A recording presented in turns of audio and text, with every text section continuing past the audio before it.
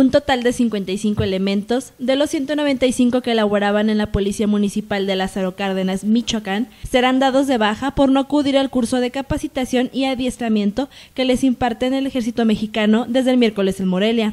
El gobernador del estado, Fausto Vallejo Figueroa, informó que fueron 140 los elementos de Lázaro Cárdenas que se apegaron a la capacitación.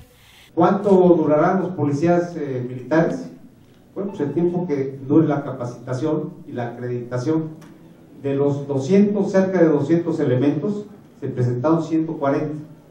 Los demás obviamente pues, no les interesa o eh, eh, finalmente eh, están dados de baja en forma automática. Reiteró que la tarea de los militares para dar seguridad pública a la ciudad y Puerto Michoacano continuarán hasta que la capacitación y acreditación de todos los elementos municipales culmine.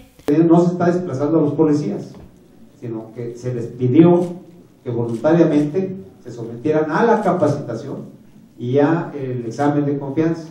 Se les permitió regresar a sus casas que se presentaron obviamente con el equipaje necesario para eh, estar aquí en la ciudad de Morelia. El gobernador de Michoacán anunció que en los próximos días se aplicarán una serie de programas sociales en municipios de la costa y Tierra Caliente como ofensiva contra la delincuencia. Con información de Sandra Sáenz, informa Cuasar TV.